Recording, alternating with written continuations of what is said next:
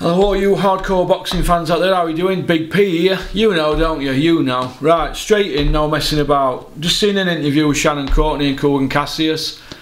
Done on World Suicide Prevention Day. I think that's brilliant. And it's her first interview since a loss. But is that more good PR to get yourself out there?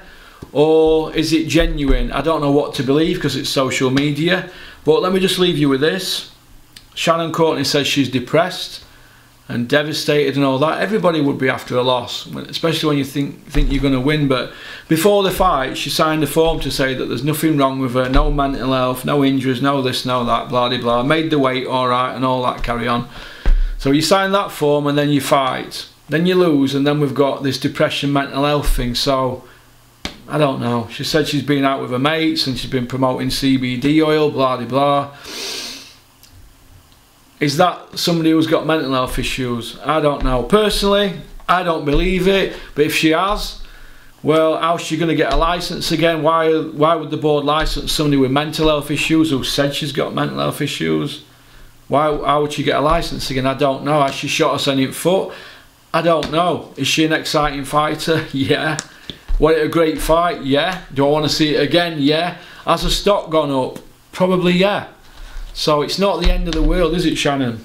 So, but I don't believe the mental health thing. I think too many people are using it for their own advantages. Dave Allen's used it before, Tyson Fury. When you get in a pickle, people can't keep throwing mental health, mental health issue out there. So, but it is what it isn't.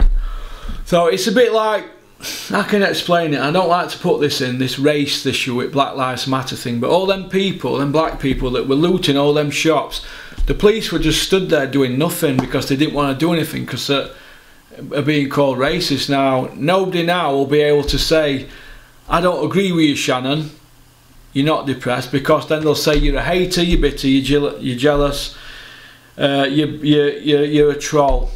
You know, things like that. But on Porky's Corner, we just give an opinion. I'm not really bothered what anybody thinks. I've got enough mates in the world. I don't need any more mates. We're just going to tell it straight. I don't believe it. All right, I think it's a PR job.